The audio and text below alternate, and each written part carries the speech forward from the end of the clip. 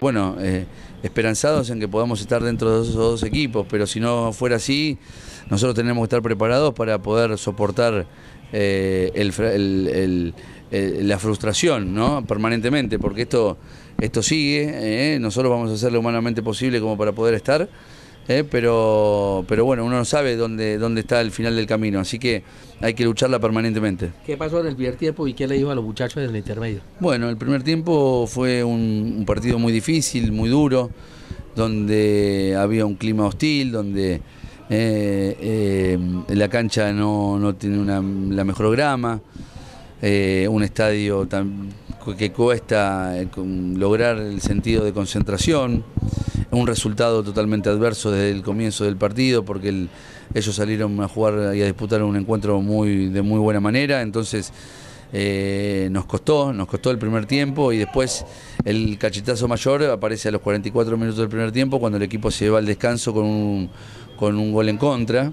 Entonces, bueno, es difícil poder eh, superar todas estas cosas, estas... Eh, estas adversidades y los futbolistas la verdad que agradecidos porque lo hicieron muy bien, salieron a jugar el segundo tiempo eh, importante. Hay veces que se buscan y no se consiguen los, las situaciones que se crean. El otro, ayer fue lo que se creó se pudo concretar y eso es lo que sirve en definitiva para poder estar contentos y que la tabla de posiciones se siga engrosando. Y lo más importante, profe, es que se consiguió rápido voltear el marcador, ¿no? Exactamente, sí, fue, fueron dos cachetazos lo que pudimos dar y después, bueno, tratar en lo posible de mantener eh, el resultado con, con uñas y dientes, ¿no? Porque acuérdense que nosotros vinimos eh, de, que nos empaten en el minuto 90, entonces, bueno, es más una derrota que un empate.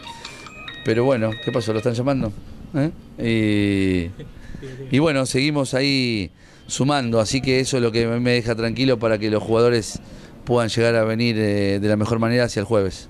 Profe, lo deja contento eh, con el grupo de jugadores que participó en este compromiso, sabiendo que hubo muchas variantes respecto a los últimos dos equipos que habían venido saliendo para, para los juegos. Sí, sí, seguramente que sí. Bueno, vamos a ver, a ver, hacer darle la posibilidad a los futbolistas que, que, que se sigan rotando, que pueda haber una buena nómina para que todos tengan el mismo objetivo eh, y que todos estén compenetrados en lo que van a ser los cuadrangulares, que ahí es un poco a lo que nosotros estamos en la antesala de lo que va a llegar.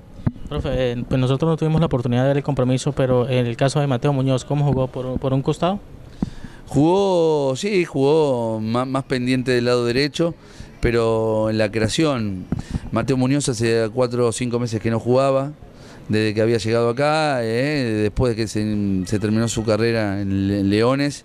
Entonces, bueno, lograr para él 90 minutos, más allá de cómo o dónde jugó, eso es lo importante, tener 90 minutos en sus piernas de competencia. Profe, es una variante también importante para el Cúcuta, en el caso de Mateo y del mismo Junior Rangel, uno por derecha, otro por izquierda, ayudando en, esa línea, pero también en, la creación, en poder repartir la pelota a los, muchachos que participan en la parte de arriba. Sí, bueno, lógicamente uno busca eso, son, la naturaleza, la verdad que son futbolistas que, que lo vienen haciendo bien, vienen entrenando eh, de forma muy ordenada, muy disciplinada y nosotros necesitamos también de todos necesitamos de todos, así que al que le toque estar, eh, ojalá que esté a la altura de las circunstancias.